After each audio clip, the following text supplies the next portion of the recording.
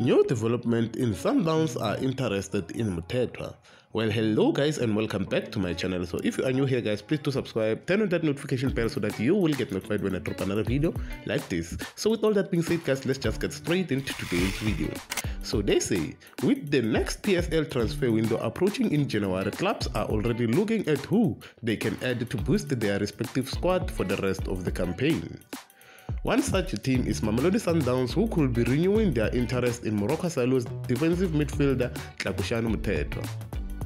The Brazilian were reportedly interested to bring in the 30 years old in the last transfer window. Mamelodi Sundowns still want Tlakusani Mthethwa. It's not like they stopped their interest in him.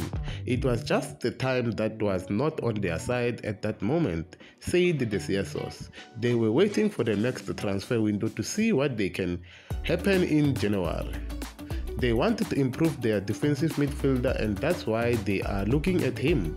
They just wanted to open talks with Moroka Swallows and then take it from there, the source told the Soccer Laduma. So what do you think guys? Uh, please comment your thought down below on the comment section. Let us know what you think and if you are new to my channel guys, please do subscribe, turn on that notification bell so that you will get notified when I drop another video like this. So good luck and I'll be seeing you on my next video.